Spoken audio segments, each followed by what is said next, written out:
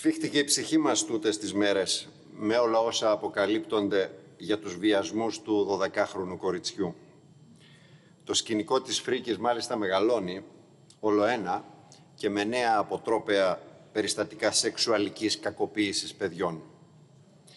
Τι συμβαίνει λοιπόν και τι φταίει για όλα αυτά τα σοκαριστικά γεγονότα που έρχονται στο φως και έχουν για θύματα μικρά και ανυπεράσπιστα παιδιά; Κρίμα όμως, γιατί παρά τη μεγάλη δημοσιότητα, σχεδόν όλη η δημόσια συζήτηση του θέματος, συνειδητά ή όχι, μάλλον αποπροσανατολίζει.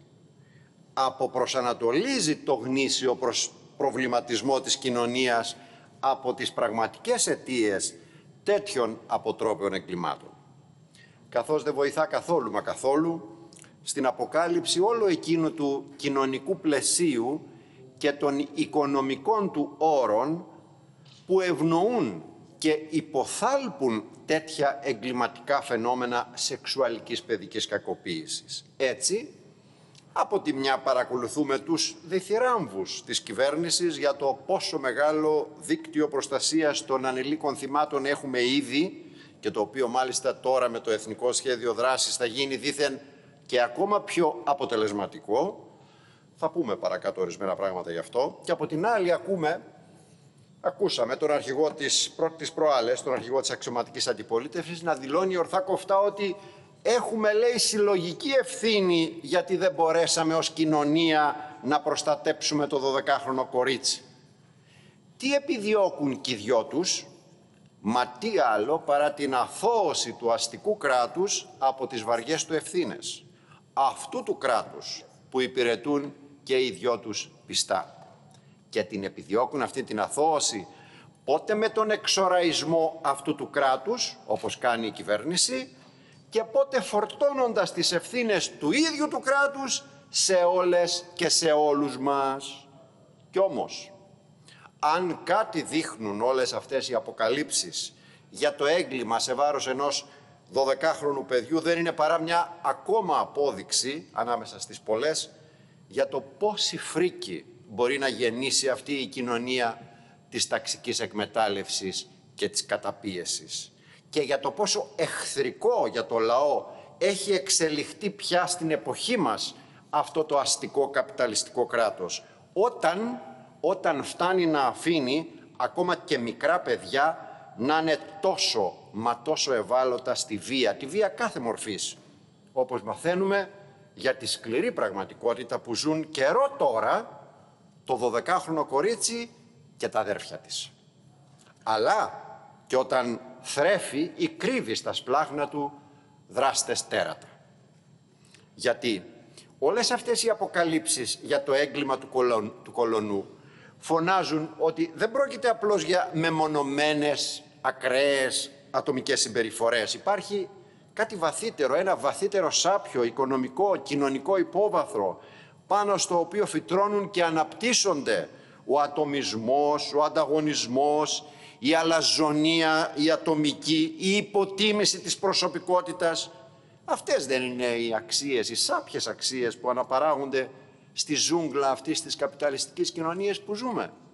Αυτές δεν είναι που γίνονται μαθήματα στάσης ζωής, στο σχολείο του ανταγωνισμού και του ατομισμού, στο πανεπιστήμιο, στο χώρο δουλειάς, αλλά και στα μέσα μαζικής ενημέρωσης και τα μέσα ιδίως εκεί, κοινωνικής δικτύωσης. Αυτές δεν είναι που διαμορφώνουν εκτός των άλλων και μαζικά πρότυπα διαπροσωπικών ερωτικών σχέσεων. Αυτές όμως, ξέρετε, καμιά φορά γίνονται και το έδαφος που διευκολύνει μαζί με άλλους παράγοντες φυσικά και τη διαμόρφωση τέτοιων ατομικών συνειδήσεων και προσωπικότητων ικανών να διαπράξουν αποτρόπες εγκληματικές πράξεις. Δικαιολογημένα λοιπόν και με αφορμή αυτό το αποτρόπαιο έγκλημα στο 12χρονο κορίτσι και οι νέοι γονείς και οι εκπαιδευτικοί και η συνολικά η κοινωνία ανησυχούν και αγωνιούν όταν διαπιστώνουν όλη αυτή την εκοφαντική απουσία του κράτους, αυτήν την κραυγαλαία έλλειψη όλων εκείνων των αναγκαίων μέτρων πρόληψης και προστασίας των παιδιών, τα οποία βιώνουν την οικονομική και κοινωνική ευαλωτότητα με το κράτος όπως πάντα απόν. Κι όμως, Κι όμως σήμερα υπάρχει πια, ξέρετε, όλη εκείνη η απαραίτητη επιστημονική γνώση για τον εντοπισμό, τον έγκαιρο εντοπισμό ενός κακοποιημένου παιδιού, ακόμα και μέσα από τη μελέτη της συμπεριφοράς του στο σχολείο. Αυτό που δεν υπάρχει όμως είναι ένα πλήρες δίκτυο από κρατικές, δωρεάν κοινωνικές υπηρεσίες που θα επικεντρώνουν στην πρόληψη. Και αυτό που λείπει και λείπει επιδεικτικά είναι εκείνες οι αναγκαίες προσλήψεις μάχημων, μόνιμων ψυχολόγων και κοινωνικών λειτουργών σε όλα, επαναλαμβάνω, σε όλα τα σχολεία της χώρας, τα οποία είναι λίγο παρακάτω από 14.000, μόνιμοι τέτοιοι επιστήμονες σε όλα τα σχολεία και όχι κάποιοι λίγοι αναπληρωτές, ένας για πέντε, ακόμα και για δέκα σχολεία. 3.200 προσλήψεις ανακοίνωσε πριν από λίγο η κυρία ε, η Υπουργός της Παιδείας. Αλήθεια, πόσοι από αυτούς είναι μόνιμοι, πόσοι είναι στα γενικά σχολεία εκτός από, το, από τα ειδικά; Οι απαντήσεις είναι αυτονόητες. Ελάχιστα γενικά σχολεία έχουν ψυχολόγους και κοινωνικούς λειτουργούς. Δηλαδή, λείπουν ακριβώς όλα εκείνα τα οποία θα μπορούσαν να αποτελέσουν ένα στοιχειώδες δίχτυ ασφαλείας για κάθε παιδί. Ιδιαίτερα αν αυτό το παιδί έχει την ατυχία να είναι εκτεθειμένο σε εκβιασμούς και σε πιέσεις στο οικογενειακό, το σχολικό, το ευρύτερο κοινωνικό του περιβάλλον. Και ύστερα αυτή η τόσο κρίσιμη πρόληψη τέτοιων εγκληματικών φαινομένων δεν πρέπει να είναι άραγε προτεραιότητα σε όλες μα όλες τις δραστηριότητες των παιδιών. Και νοείται άραγε πρόληψη χωρίς να υπάρχει πλήρης στήριξη της οικογένειας με προγραμματισμό οικογενειακό, με ψυχολογική ενίσχυση, ακόμα και, και με κατοίκον αν χρειάζεται στήριξη των οικογενειών που έχουν αυξημένες ανάγκες. Και είναι άραγε ή δεν είναι πρόληψη εκείνη η ιδιαίτερη σημασία που πρέπει να δίνεται στην παιδική και την εφηβική ηλικία με την ανάπτυξη μιας ειδικής υπηρεσίας, κρατικής υπηρεσίας φυσικά, στελεχωμένης από επιστήμονες ώστε να παρακολουθεί την ανάπτυξη των παιδιών, την ψυχοδιανοητική, τη σωματική τους, για να μπορεί αυτή η υπηρεσία και να παρέχει και ψυχολογική στήριξη εντοπίζοντας έγκαιρα τα όποια προβλήματα ή την όποια προδιάθεση αν θέλετε, αλλά και για να παρεμβαίνει σταθερά με την οργάνωση προγραμμάτων, προγραμμάτων πρόληψης και αντιμετώπισης της βίας κατά των γυναικών, για παράδειγμα, στα σχολεία, σε πανεπιστήμια, ακόμα και σε συνεργασία και με άλλους φορείς, αν χρειαστεί. Υπάρχει μήπως τίποτα από όλα αυτά, τα τόσο λογικά και τα τόσο αναγκαία σε αυτό το λεγόμενο Εθνικό Σχέδιο Δράσης για την Προστασία των Παιδιών, για το οποίο κομπορημονεί σήμερα από το πρωί η κυβέρνηση; Όχι, τίποτα δεν υπάρχει. Όσο και αν ψάξαμε δεν βρήκαμε τίποτα από αυτά.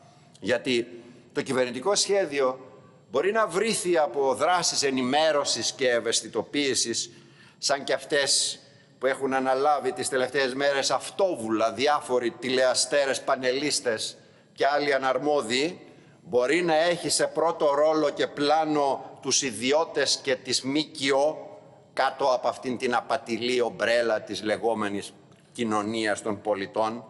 Του λείπει όμως, ξέρετε, το πιο σημαντικό. Του λείπει η ουσία, που δεν είναι άλλη από την ανάληψη της ευθύνης αυτού του τόσο κρίσιμου έργου της παιδικής προστασίας αποκλειστικά από το κράτος και τις κοινωνικές του υπηρεσίες. Και αυτή η έλλειψη, ξέρετε, δεν μπορεί να κρυφτεί πίσω από βαρύγδουπες εκφράσεις περί συμμετοχής, ακούστε, περί συμμετοχής των παιδιών ως ενεργά υποκείμενα της όλης προσπάθειας για την ενίσχυση της προστασίας τους, όπως γράφεται στο ίδιο το σχέδιο. Τι πάει να πει αυτό αλήθεια τώρα; Μήπως τη μεταφορά ενός μεριδίου της ευθύνης του κράτους στα ίδια τα παιδιά θύματα; Σοβαρολογείτε. Αλήθεια, πώς ακριβώς την εννοείται αυτή τη συμμετοχή των ίδιων των παιδιών; Χωρίς τις κατάλληλες υποδομές και υπηρεσίες, χωρίς το αναγκαίο μόνιμο προσωπικό, πώς θα μπορέσει να βρει ένα παιδί τη δύναμη και το κουράγιο, όχι μόνο να καταγγείλει, αλλά να προσπαθήσει και να αλλάξει τη ζωή του δίνοντας τη δική του μάχη; Εδώ, καλά-καλά αυτά τα παιδιά δεν γνωρίζουν πού να απευθυνθούν για τα βάσανά τους και κάπως έτσι τελικά οδηγούνται σε αδιέξοδο και εσείς τους θέλετε ενεργά υποκείμενα. Αφήστε τον οριζόντιο τρόπο με τον οποίο αντιμετωπίζετε την παιδική κακοποίηση. Θα χρειαστώ ένα-δύο λεπτά κύριε Πρόεδρε. Χωρίς να παίρνετε οριζόντια και ισοπεδωτική μεταχείριση. Χωρίς να παίρνετε καθόλου υπόψη τις διαφορετικές ανάγκες των παιδιών κάθε ηλικίας ή τις ανάγκες των παιδιών με αναπηρία που είναι ξέρετε και τα πιο ευάλωτα σε τέτοιες παθογόνες συμπεριφορές. Ό,τι και να λέτε όμως δεν μπορείτε να κρύψετε ότι τα εμπόδια που συναντά ένα παιδί προκειμένου να καταγγείλει την κακοποίηση είναι τόσο πολλά που φτάνουν μερικές φορές μέχρι και την αστυνομική αυθαιρεσία και αδιαφορία. Για να μην μιλήσουμε για το Γολγοθά που ανεβαίνουν αυτά τα κακοποιημένα παιδιά με τις αλλεπάλληλες καταθέσεις τους, σωστό μαρτύριο για αυτά σε ένα σωρό διαφορετικές υπηρεσίες. Για να μην μιλήσουμε για τις μακροχρόνιες πολυδάπανες νομικές διαδικασίες μέχρι την καταδίκη των δραστών. Αρκεί να πούμε μονάχα αυτό. Σε ολόκληρη την Αττική λειτουργεί μόνο ένα, ένα αυτοτελές γραφείο του Υπουργείου Δικαιοσύνης για την προστασία των ανήλικων θυμάτων. Κύριε και αυτό, γιατί και αυτό είναι έσχος.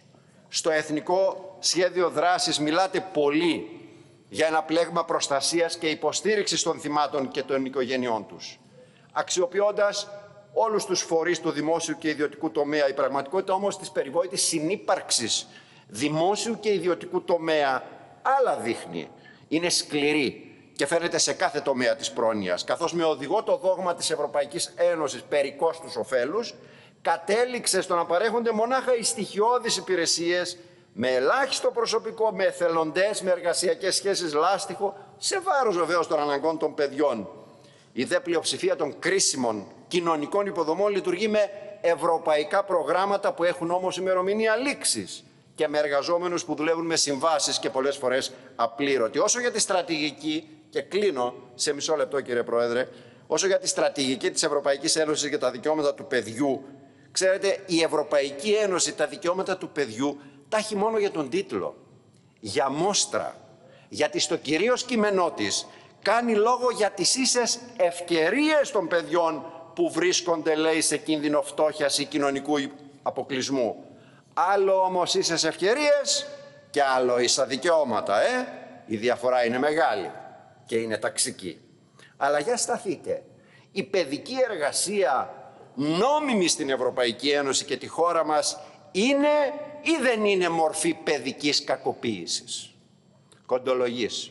Επιδιώκεται να συνηθίσει ο κόσμος τη λογική της μείωσης των συνεπειών, της μείωσης της βλάβης, όπως λέτε, τέτοιων αποτρόπαιων φαινομένων όπως η σεξουαλική κακοποίηση. Ως κόμμα φυσικά και δεν συμβιβαζόμαστε με αυτά τα περιορισμένα μέτρα που προτείνεται. Παλεύουμε για την εξάλληψη του φαινομένου όπως και κάθε μορφής βίας σε βάρος των παιδιών γιατί είναι δικαίωμα κάθε παιδιού να ζει χωρίς τέτοιες συμπεριφορές. Γι' αυτό και δεν πρόκειται να σταματήσουμε να αγωνιζόμαστε για όλα όσα έχουν ανάγκη σήμερα τα παιδιά του λαού μας. Και αυτό μπορεί να το εξασφαλίσει τελικά μονάχα η κοινωνία του σοσιαλισμού ακριβώς γιατί έχει στο επίκεντρό της τον άνθρωπο, τον εργαζόμενο και τις σύγχρονες ανάγκες του με βάση τις δυνατότητες του αιώνα που ζούμε. Ευχαριστώ.